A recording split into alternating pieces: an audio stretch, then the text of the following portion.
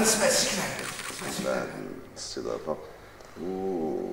وفعلا مؤخرا قامت وزارة الثقافة بإطلاق سراح في نهاية المطاف المسارح ولكن فعلا كانت بدون جمهور. وهذه العملية م- كنعرفوها أنها مسألة كتجيب ظرفية استثنائية. وكما كيقولوا الاشتغال ديال العاملين بهذا القطاع كان شيء ضروري. هو شيء محزن وكما تعرفون بأن ال- الجمهور هو هو هو ضلع أساسي في في, في عملية المسرح. ما كناش كنتمناو هذه القضية ونتمناو انه ولو أنا سمعت مجموعة ديال الأصوات كت كت كت- كتعقب على هذه المسألة ديال غياب الجمهور وأنا فعلا كنت نحضر لهم ما كانش الجمهور شحال هذه ما كانش كيجي كيجي للمسرح. وحنا كنتمناو ان الله سبحانه وتعالى يرفع الجائحة ون- وناخذ الحياة ديالنا بشكل طبيعي الجمهور ما كانش يجي المسرح صافي خصنا نقدروا نديروا المسرح بلا ما يكون الجمهور بقى في لا لا ماشي أنا غير لا. لا لا غير غير غير من باب من باب المزحه وبغيت نضحك معك في هذه العملية ونيت فعلا بغيت نبعث شي رسالة لمجموعه من الزملاء ولو أن المناسبة ماشي لا العتاب ولا الانتقاد. غير فعلا كانت عندنا في المغرب المشكل ديال غياب الجمهور على المسرح هذه هذه هذه- حقيقة ماشي ماشي بدعة.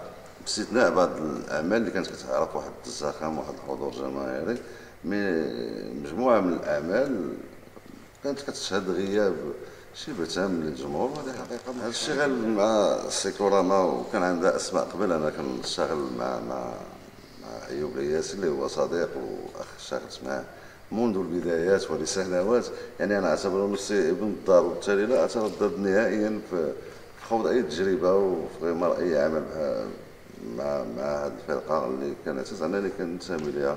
وهي كتميز بداك الروح ديال ديال ديال ديال التجديد اللي كتفتقدوا مجموعة من من الفرق المسرحية أنها دائما كتطعم بعناصر جديدة وبعناصر شابة ومن مدن أخرى ومن من وقادمون من تجارب أخرى. يا حياني فيش قالوا اش قالوا عليه انت اللي تقول لي. آه، قالوا بلي نفخ فين؟ ما عرفتش فين غيكون مشاني عرفتي انت غادي يديروا ليه عملية لإرسال الرأس.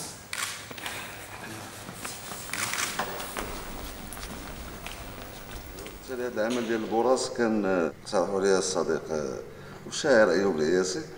آه، اولا النص ديال ديال صلاح الدين بن موسى اللي هو فنان ومبدع كبير. ما ما, بالضبط فرقه السيكلوراما ما كنخضعهاش للمعايير الأخرى اللي, اللي كنشتغل مع مجموعة من الفروق باش باش يمكن ننتمي ليها.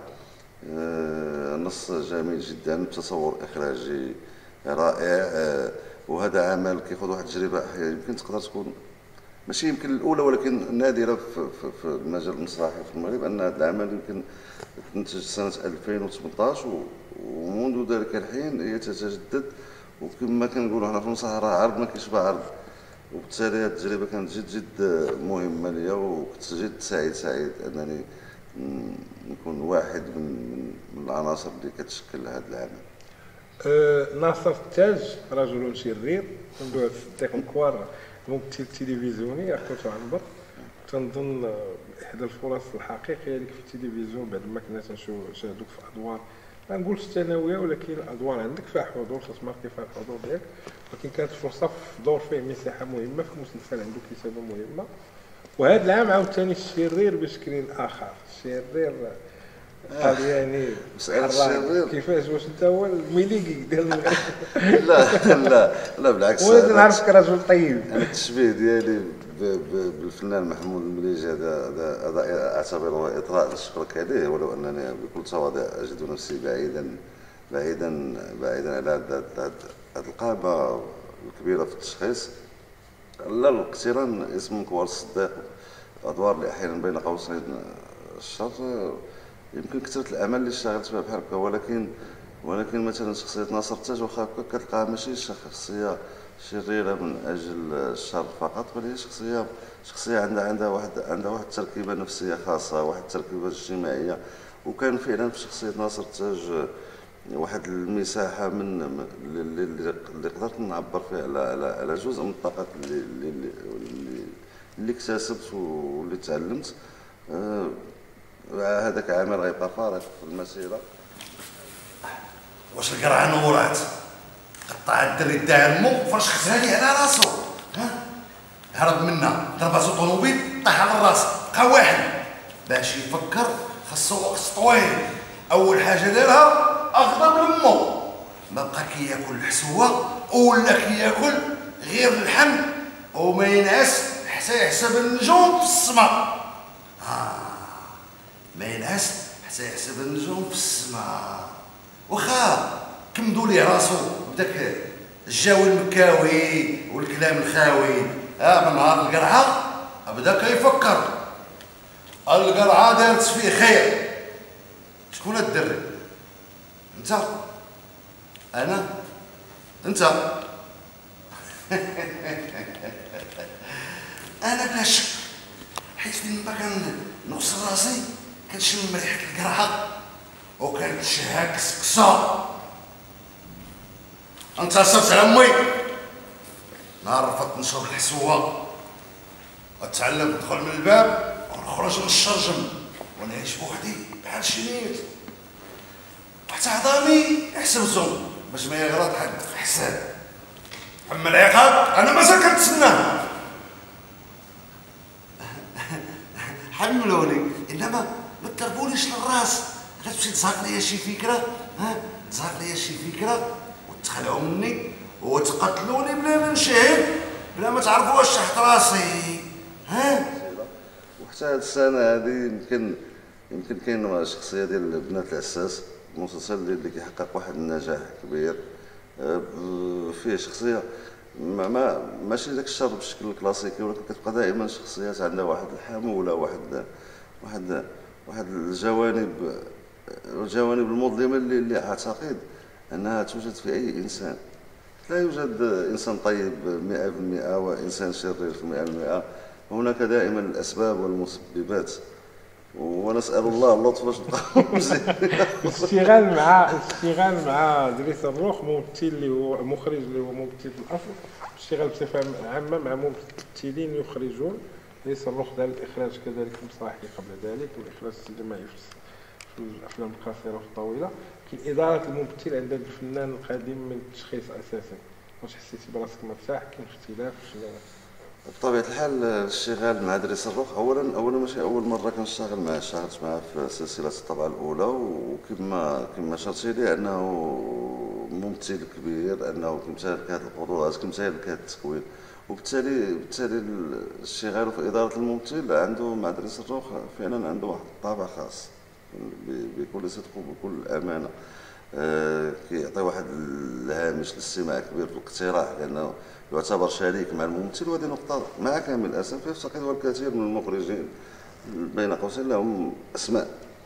آه، يعني دريس الروح هذه المسألة ديال إدارة الممثل هو كممثل أنت أنا شخصيا كن- كنرتاح.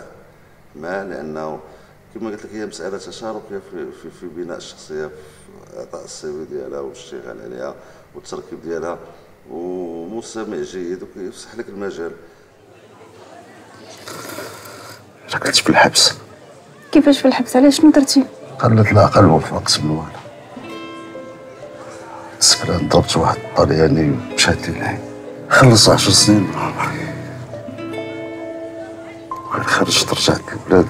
بقيت كنقلب على ماما وما لقيتش لها العطا فعلا شرتي نقطة من أهم ميزات ديال دريس الروح في في المسألة ديال الإخراج هو مسألة ديال عنده القدرة الهائلة ورحابة الصدر في في في إدارة واختيار الممثلين عيبنا واحد نص مسرحي. رجل درس المسرح يدرس المسرح درس هندسة الثقافية. يكتب نص المسرحية كله تخسر الهضره واش غنشوفوه فوق. الخشبه واش كاين نصوص أخرى جريمة الكتابه والنشر طبعا.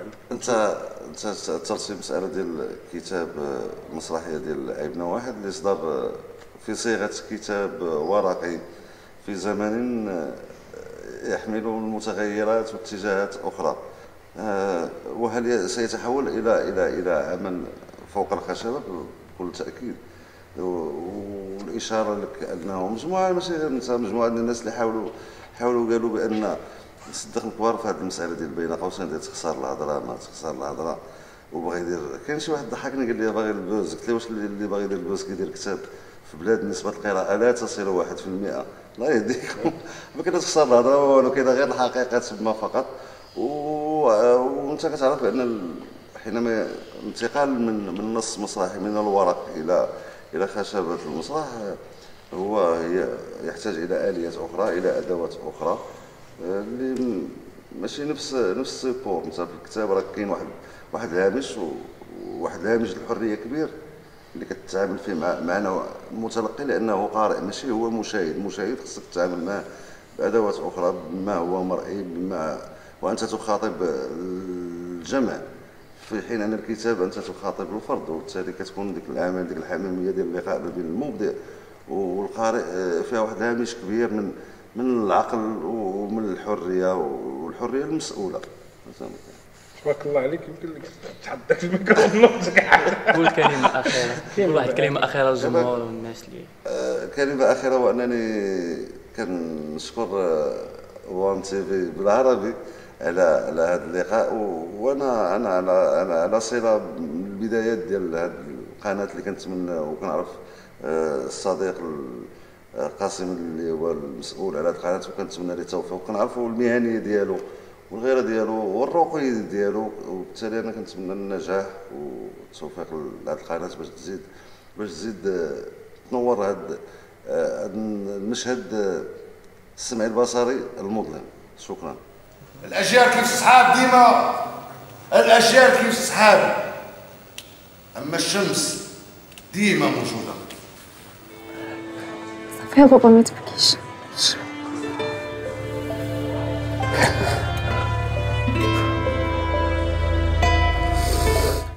كتعرفوا بأنه هذا